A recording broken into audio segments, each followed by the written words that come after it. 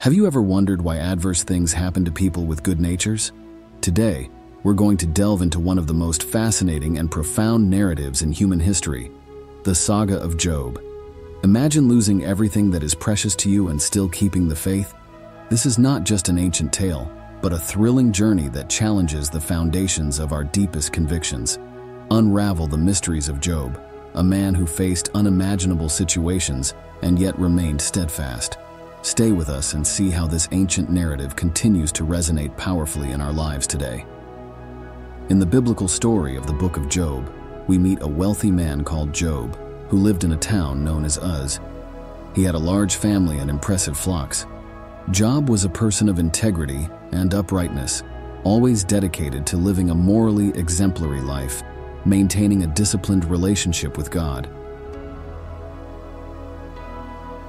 In the land of Uz, there lived a man called Job. He was irreproachable and honest, revering God and avoiding evil.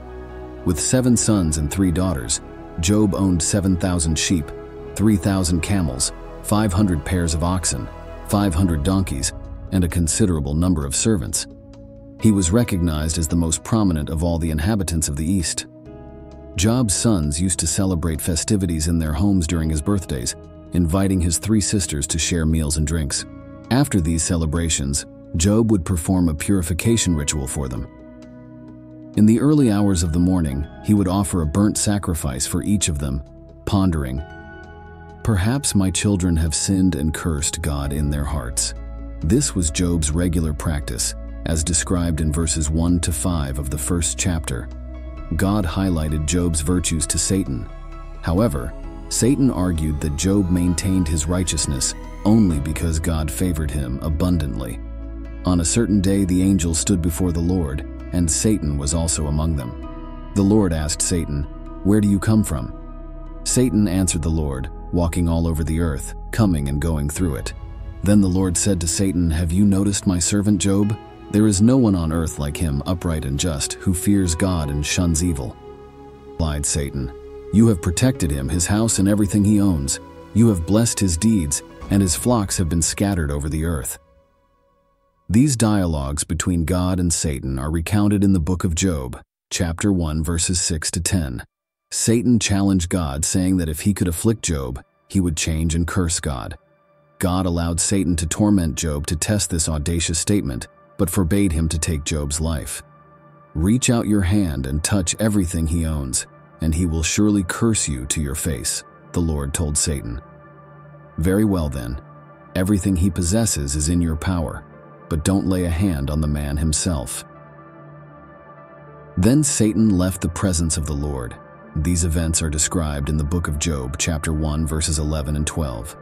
In a single day, Job received four messages, informing him that his sheep, servants, and ten children had died victims of raids by thieves or natural disasters. While Job's sons and daughters were celebrating and drinking wine at their eldest brother's house, a messenger came to Job reporting, The oxen were plowing and the donkeys grazing nearby when the Sabeans attacked and took them. They killed the servants with the sword, and I was the only one who escaped to tell you about it.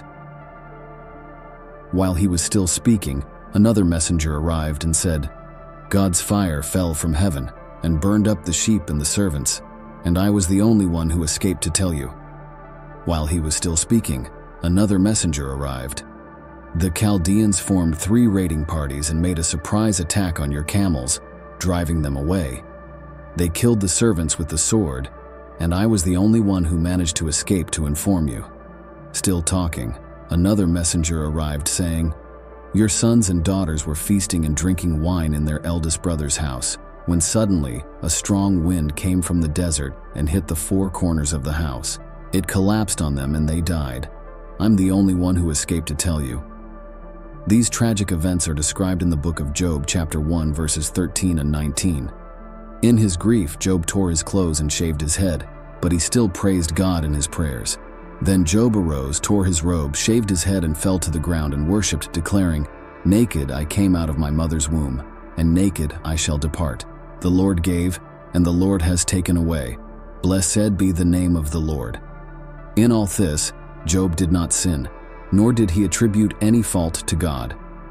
This response from Job is recorded in the book of Job, chapter 1, verses 20 to 22.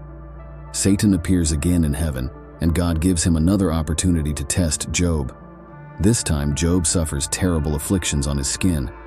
Job's wife tries to persuade him to curse God and give up his life, but he resists, trying to endure his sufferings.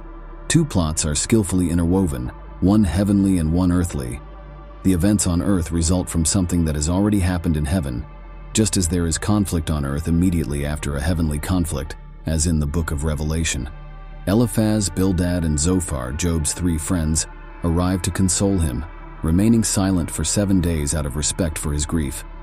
Job speaks on the seventh day, starting a dialogue in which each of the four men offers poetic descriptions of their tribulations.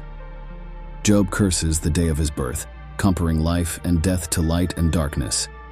He expresses the wish that he had never been born and that his birth had been shrouded in darkness, feeling that life only adds to his agony.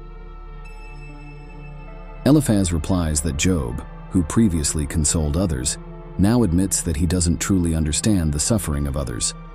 Eliphaz concludes that Job's pain must be the result of some sin and advises him to seek God's favor. Bildad and Zophar agree that Job must have committed some evil to attract divine justice, arguing that he should show more innocent behavior. Bildad suggests that Job's children have brought death upon themselves, while Zophar insinuates that any mistake by Job would deserve a much more severe punishment than his current suffering. Job responds to each of these comments, expressing such irritation that he calls his friends useless doctors who mask their help with lies, as described in the book of Job, chapter 13, verses 1 to 4. My ears have heard and understood, and what you know I also know. I am not inferior to you.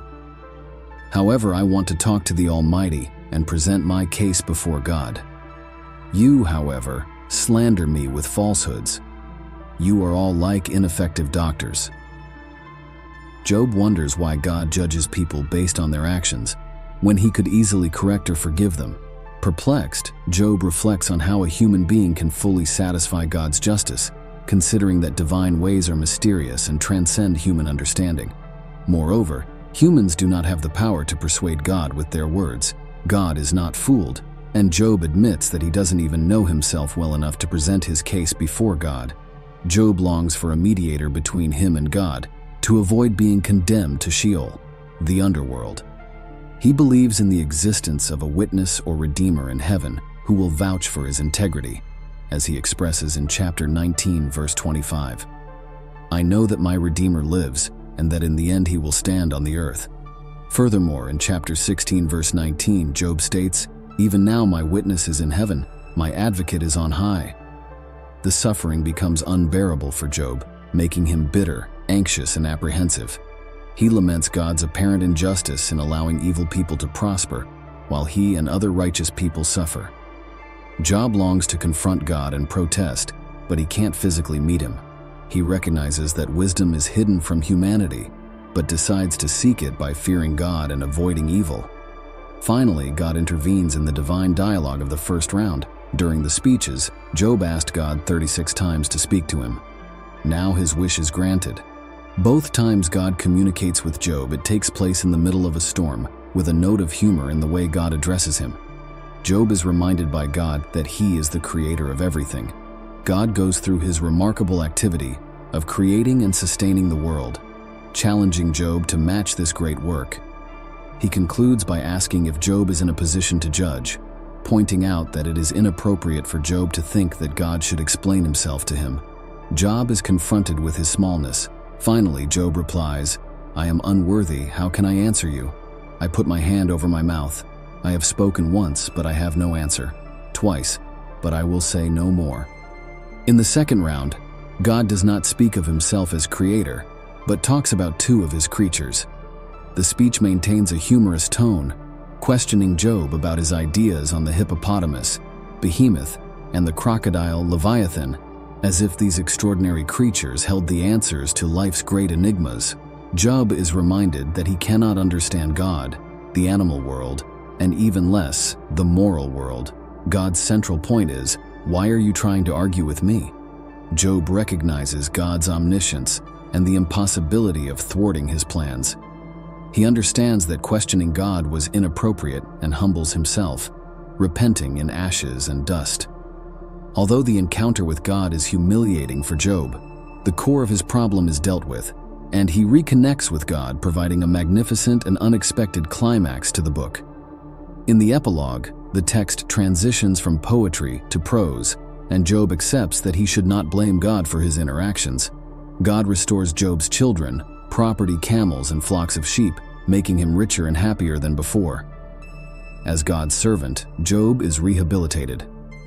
However, Job's three friends are severely rebuked by God, who says that they have not spoken correctly about Job, indicating that we should not take their speeches as truths. What is remarkable about God's two rounds with Job is that he doesn't answer Job's questions or reveal the bet with Satan. Job didn't need to understand what was happening in heaven because God had reasons for allowing his suffering. It is important to highlight the clear difference between the Jewish and Christian understanding of the book of Job. The Jews of the Old Testament saw God's justice as something to be manifested in this life, since both the righteous and the wicked went to the same destination. Sheol, a place of dark existence where spirits rested. In contrast, Christians see present suffering in the light of eternity, seeing a heavenly vision magnified by the work of Christ. The book of Job suggests only hints of life after death, with Job declaring that he will meet God after his death, although this theme does not recur and does not detail how this will happen. The book of Job has two main plots the divine plot and the earthly plot. It begins with the heavenly plot, revealing the meeting of God in heaven with Satan, an angel who reported sins and acted as an accuser before God. By the time of Job, Satan had become so skeptical that he doubted that anyone could love God for God's own sake, believing that people loved God only for what he could offer. This sparks a debate between God and Satan, with the latter arguing exactly this perspective. God questions whether Satan has met Job in his travels on earth, claiming that Job loves him for who he is, not just for the blessings he has received. Satan's response is cynical, suggesting that if God were to withdraw Job's blessings, he would blaspheme just like anyone else. This leads to the divine wager, an essential tension in any meaningful drama. Job remains oblivious to the divine wager while the reader is aware making the test pointless if he knew about it. This encounter reveals valuable truths about Satan, suggesting that he cannot be in two places at once, lacking God's omnipresence. The human plot, centered on the debate between Job and his friends, takes up most of the book exploring the central question why is Job suffering more than others? Two points of view emerge. The friends claim that Job's suffering is the result of his sins, while Job insists that he is without sin, protesting his innocence. The exchange is full of suspense, as the reader knows the truth. The structure of two plots in the book emphasizes that no one has the whole picture when trying to understand the reasons for human suffering. Defending oneself in the midst of misery is challenging, and in addition to the search for explanations, everyone is confronted with the big question can I continue to believe in a good God when everything seems to be going wrong? The book of Job offers an answer to this question. When it comes to Job's greatest pain, it wasn't just a physical affliction. Covered in sores from head to toe, exhausted and in excruciating pain, he also faced social isolation. Because of his appearance and the recent tragedy known to the community, he became an outcast sitting in a pile of ashes at the edge of the village while people avoided interacting with him, including teenagers who laughed at him. Mentally, he confronted the anguish of not understanding why such painful events were occurring in his life, especially since nothing in his past indicated such an outcome. Spiritually, his distress was even more intense as he felt a distance from God. Job cried out, begging God to meet him, talk to him, and even discuss his situation. This was truly the deepest and most agonizing pain. Suffering becomes particularly agonizing when we believe that God is distant and seemingly indifferent. However, when Job finally managed to communicate with God, things didn't turn out as he had hoped. In the context of the New Testament, for Christians, God allowed Satan to bring about Jesus' death on the cross, with the Son himself questioning, My God, why? Similar to Job, God did not provide a clear explanation. This suggests that even the Son of God, under the intensity of the torment of crucifixion, lost his understanding of the purpose of his suffering. The Christian understands that life extends beyond death, and the dilemmas of suffering do not necessarily find resolution in this existence. It is worth noting that in the Greek version of the book of Job, an additional verse suggests that he will be resurrected with those whom the Lord also resurrects. This hope of resurrection points to a future claim of Job. Christians believe that Jesus will return to judge the living and the dead at the end of time. A tribunal will be established where Jesus, as judge, will evaluate the actions of all people, wicked and pious, throughout their lives. Job's longing for justice is about to be realized.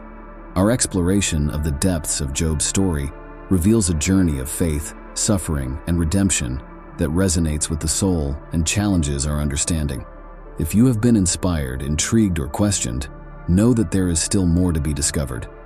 Each story shared here is a new opportunity for internal reflection and observation of the world around us. Don't miss a moment of these fascinating explorations. Subscribe now, leave a like if today's story resonated with you, and share in the comments how it has impacted your life. And don't forget to share this video with someone who, like you, enjoys unraveling the mysteries of life and faith. Together, we'll continue this journey of discovery and inspiration. Thanks for watching, and see you next time.